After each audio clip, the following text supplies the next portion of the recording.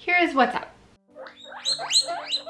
When I started editing these vlogs, I did not realize how much I run from project to project and bounce from thing to thing, and it was very frustrating for me to watch. So I imagine it was frustrating for you to watch as well. And what I want to do is show you a painting from start to finish so you can enjoy the process without the days or sometimes weeks in between of me doing everything except painting and working on six pieces at once.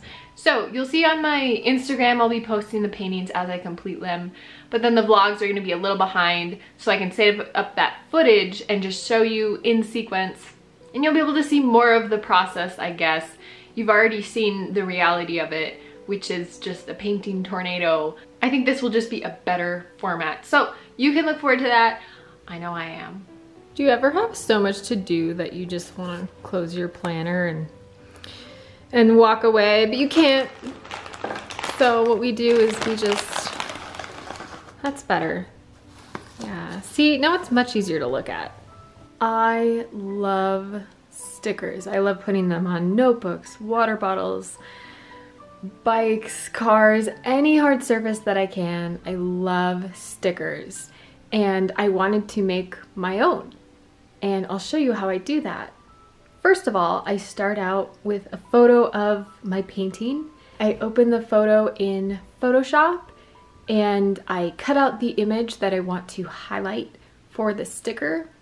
For this particular lobster, part of it was cut off when it went outside the painting, so I just had to, in Photoshop, just paint in the rest of the lobster to make it a complete image.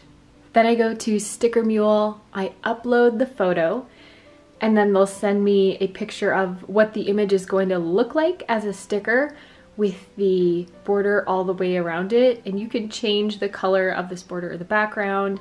I like to keep it white because I like the way it stands out on pretty much any colored surface. And then I order the stickers.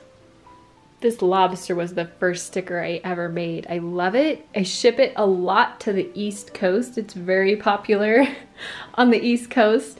And then my stickers of trout and bear are really popular here in Montana. They are available on Etsy and you can buy them to stick on whatever you like.